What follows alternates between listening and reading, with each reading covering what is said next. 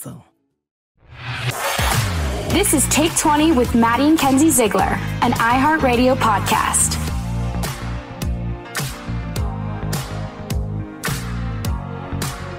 Hey guys, so this is part two um with our mom, which is so fun. We're gonna be asking her juicy questions and you guys are gonna get to know her a little bit better. So what what do we do that um drives you nuts?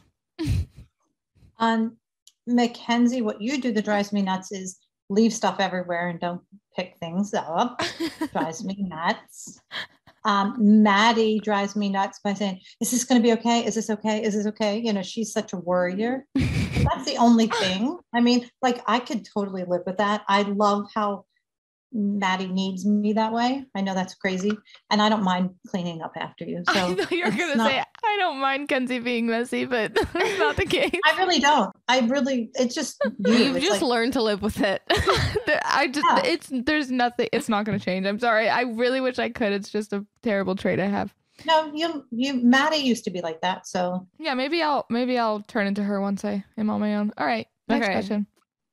When do you think that me and Kenzie should get married? 30. What? Wait No. till you're 30. No. Uh, that's just my you just asked, so I'm just But when do you when do you think is like a good time? When Like did you get married?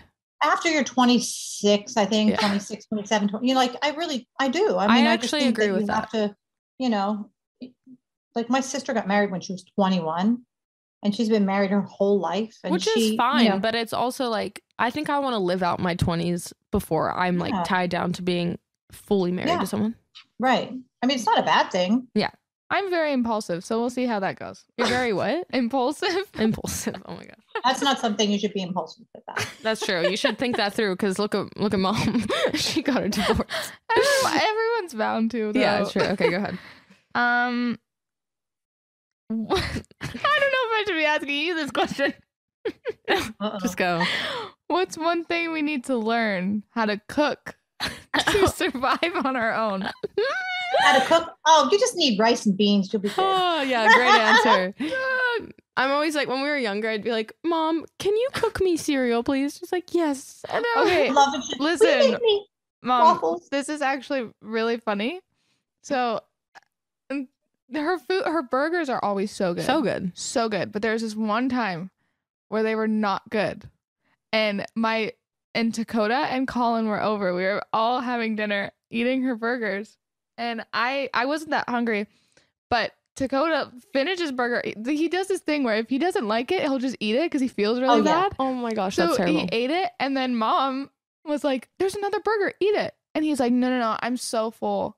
And she was like, "No, no, no, eat it," and was like forcing them to eat her, the rest of her burgers. And they literally came up to me and were like, "I don't know what was wrong with those burgers, but they were not good." oh my god. I, I don't think I cooked them long enough because I was worried I was going to burn them. Because I Oh, burned one of. Maddie's burgers and we only had one, and I had to shave the top off, and she never knew Oh because I God. put cheese on it. oh, that's so Oh my funny. gosh. Okay. such a bad Um. Uh. What is something we still don't know about you? Um. Um, Were you a crazy child? No, I oh I I told my mom. Well, no, I think my mom knew, but um, we used to all go to like senior week. It was after we graduated high school, Mhm. and we stayed at a big house, and it was boy and girls, you know, all together. Mm-hmm. And I lied to my parents and told them that I was going with all my girlfriends, and we were just staying. But we didn't have cell phones. We didn't have any Oh, of that that's stuff. so nice. You could just But- go and just. Yeah, but we used to lie to our parents and say we were sleeping at each other's houses. And um, You'd be having a sleepover with a boy.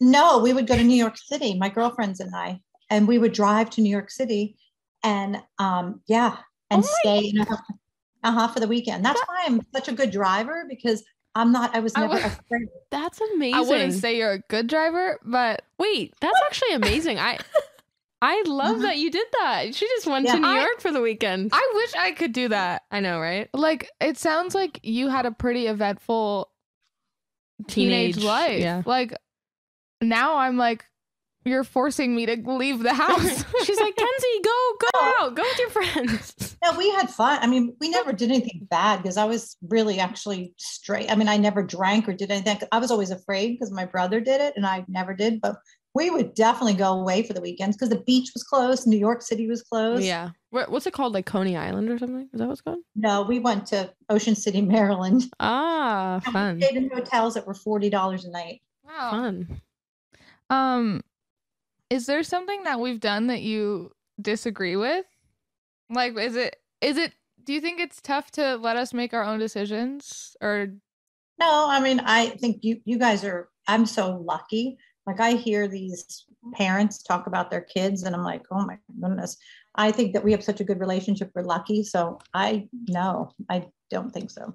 I think now also we come to mom about a lot of things. Yeah. And like Mhm. we I mean, obviously Maddie and I have our have our things that we keep to e- ourselves because Yeah. obviously Yeah. that's sisters. But I feel like we talk to you about a lot of things. A lot of things. Yeah, no, I I'm really lucky. Like I in this world that we live in in this town, I mean it could get really crazy, but we're I'm lucky.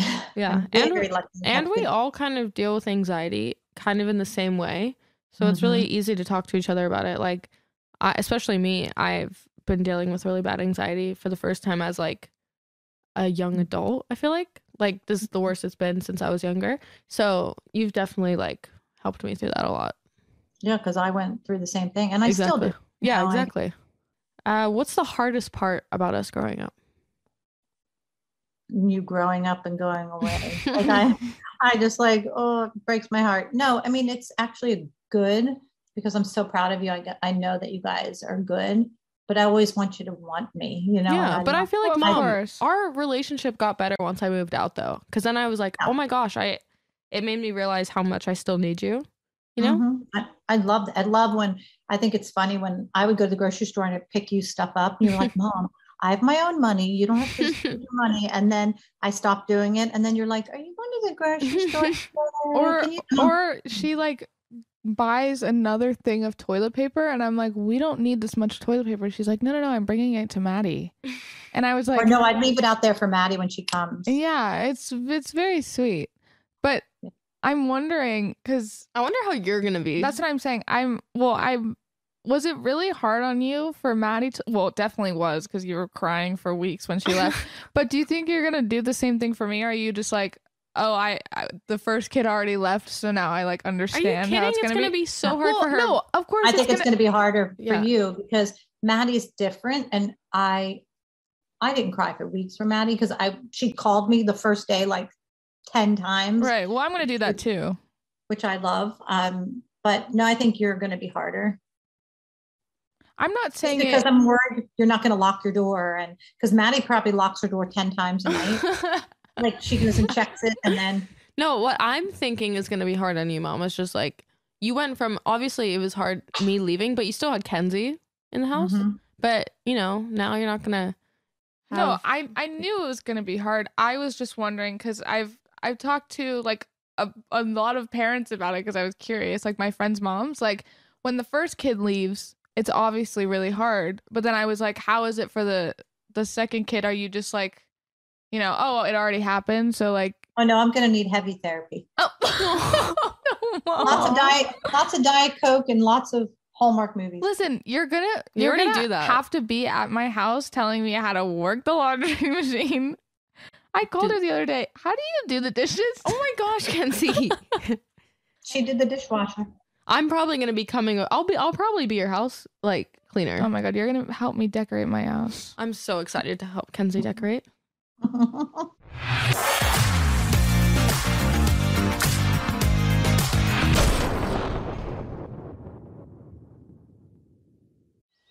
What grows in the forest? Trees? Sure.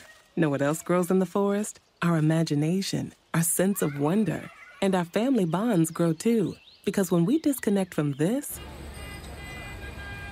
and connect with this, we reconnect with each other. The forest is closer than you think. Find a forest near you and start exploring at discovertheforest.org. Brought to you by the United States Forest Service and the Ad Council. Look through your children's eyes to see the true magic of a forest. It's a storybook world for them. You look and see a tree. They see the wrinkled face of a wizard with arms outstretched to the sky. They see treasure in pebbles. They see a windy path that could lead to adventure. And they see you, their fearless guide through this fascinating world. Find a forest near you and start exploring at discovertheforest.org. Brought to you by the United States Forest Service and the Ad Council. Adoption of teens from foster care is a topic not enough people know about, and we're here to change that. I'm April Dinwiddie, host of the new podcast, Navigating Adoption, presented by Adopt US Kids. Each episode brings you compelling real life adoption stories told by the families that live them with commentary from experts. Visit adoptuskids.org slash podcast or subscribe to Navigating Adoption, presented by Adopt US Kids. Brought to you by the U.S. Department of Health and Human Services Administration for Children and Families and the Ad Council.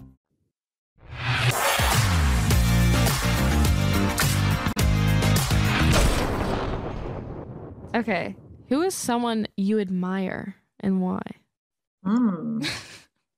well, I really, I, I know this is going to be really weird, but I really admire Steven Spielberg because Oh. I, I know this sounds really weird, but seeing him, how amazing he is, and he treats everybody like they're equals and like kind and generous, and he knows everyone's name. I mean, it's pretty incredible being Yeah, in this business. You see people and you know how they're divas, and he is so not a diva. I mean, he's really, really someone that I look up to and admire. Totally. Oh, that's very sweet. he is a, Oh, he's an incredible man. That's really cute. Um, what age or year did you consider to be the best time of your life? Right now, Really? Oh yeah, for sure. I feel like even though with the world the way it is, um, I'm happy. I, you know, I'm at a place where I can give back, and I, you know, I love service work. It's like so exciting for me. Um, and I have you guys. You guys are awesome. I have, you know, Greg. He's Incredible. You know, he's he's such a good dad to you guys and he's Mhm. been a, such a great dad for you know since you've been five and six my goodness good husband and i don't know i just have a really good life Yeah. Mm-hmm. That's awesome. That's very sweet. Yeah, I feel like, and I feel like now too, like, I know people say age is just a number, but you really are just kind of like aging backwards. It's pretty crazy. Mhm. And you Oh, just yeah, I have such a, you just have such, you've always had a very young spirit. Like, Mhm. you're very good with, obviously, like, obviously you're amazing with people your age, having conversations with them, but then you're also great at like communicating to little kids and like our age Mhm. people. Like, you just, you're good at adapting. Yeah, a lot of my friends always Are say they're like, if she was my age, I'd be best friends with her. i love that That's so cute. Do you do you ever wish that we went in a different direction with our career? no i mean i want i just wanted you guys to be happy so i don't you know i sometimes wish we had you know time to go sledding and you know i feel like we missed out on like that stuff at home Yeah. because of you know we were here in the winters but um also being now in LA and just not really having like the seasons change as as much like this year honestly a lot of like the leaves changed colors on the trees which was like not it doesn't always do that. It's been raining since last night it's still raining it's really nice but i'm really excited to like actually go to a different climate and go to snow and like have a change because i think it'll just be really fun Right. And I I think also when I was I when I was younger, I didn't appreciate home that much. Like going back, I was just like, "Oh, it's so I feel so useless. I feel like this is not fun for me at all." But now when I go back, I'm like, "It's so pretty here." yeah i know So it'll be Because nice. now we can appreciate nature more. It feels like we're literally. I know this is such a stupid thing to say, but not really. But I feel like we're. It's like a Bob Ross painting where we Yeah. live. It's literally just It- like it's beautiful. it's just a bunch of happy little trees, as Bob Ross would say. it It's funny. actually pennsylvania has the most trees Yeah, per square mile it's pretty But crazy. I, just saying but no What'd we have a great I have we have great neighbors and we have you know i don't know we'll have yummy breakfast every day and there'll be lots of baked goods being baked and You can dance in the dance room and Oh, and Greg And just cooking. tons of pictures of us everywhere you look. oh my god, that's one thing that our mom does that annoys me. She like frames all of our dance photos. Oh, I was That's gonna say. I was gonna say it annoys me when we're all eating breakfast and we just woke up and we all look like a mess and she takes the pho- takes a photo of us and posts it on her Instagram. Oh yeah. My favorite is when I was holding one of mom's hair extensions and she, like as a joke and she posted it. And I was like, okay. She posted that was most years ago. She's like reminiscing. She's like, ah, what a time. like last week. Oh, that was not last week. That was like three years ago. She, I just need to just look at her Instagram. Um, Kenzie's literally going on your Instagram right now. Don't troll her. okay. Also, you like golfing. My mom is a great golfer, by the way. And she has the cutest little golf outfits and she's really good at it. And you do better than our stepdad, right? You do better than Greg. but he's doing much better. He's coming here soon after we get back, and we're going to be golfing. So I went golfing with them. I went to Top Golf and I went actual golfing with them. Yep. Good for you. First of all, I just need to talk about one thing. You posted Ivy's birthday post, and this is the same photo, but it's cropped. She does do that a lot. She she likes to crop the photos of the dog's faces really close in. because they're so cute. I want everybody to see how cute. And look also I- you tend to post like photos where they look kind of Really weird. not cute. Oh, well, you know, I'm blind as a bat, but She's like, wow, this photo is just absolutely. My favorite is when you post like you'll find photos of us that are just on the internet that someone else has posted, and Yeah. you like just screenshot them and post them, and they're So extremely blurry. blurry. and I'm like, mom, Kelly no one that can see this picture. oh my god. like literally, no one can see this picture. It's so blurry. it's so funny. Ugh. when Maddie, when you were born, um, your pap and I were really close. He passed now, but he used to come to work for six months because I didn't want anybody to bottle feed you or touch you guys. I'm really weird. Um, he would walk with you and then I would nurse and then you would rock in the window. People would pass by and wave at you in the window. And then Kenzie was born. I did the same thing with her. I never left you guys for like six months, the first six mm. months of your life. It was so, it was like the best time. I remember that. I had the whole wall of our office was filled with pictures of you guys. I mean, it was probably a hundred photos on the Kenzie, walls. Kenzie was literally like the face of your work, right? Wasn't she like Yeah. the, Oh She was yeah. on the board. you were on a billboard? And I remember like a few months ago, you were like, "This is me," and I was like, "No, that was me on the billboard, Maddie." Yeah, it was you. Her little chubby arms. It was so That's one thing that we sometimes have to like look closely for because like we look at our baby photos and I'll be like, mm-hmm. "Is this Maddie or is this me?" But when we were like baby babies, not like when we were like toddlers. no, no, no. Oh, we looked so different. You Yeah. looked so cute. You looked so cute. You had big doll eyes. Like Okay, but sometimes I looked a little scary. My eyes were so big that it was like scary. you had the biggest, brownest eyes. yeah, it was so cute. Well, Mhm. I wish you were baby sometimes. oh, same, honestly. Well, thank you, Mom, for coming on and letting people get to know you. This was really fun. Yeah, people are gonna love your episodes, Mom. You were so good. And you know, she's going to listen to it. A thousand day. I'll see you here next time, next same time, same place next week, Great. You got it. Nice. Thanks for having me, girls. I love you. Love, Love you. you. Bye. Bye. Thanks so much for taking 20 with us. If you had fun, please give us five stars. You can follow us on Instagram at Take20 Podcast, Email us at take20 at iheartradio.com. or you can call us at 844 for Take 20. See you next time. Bye.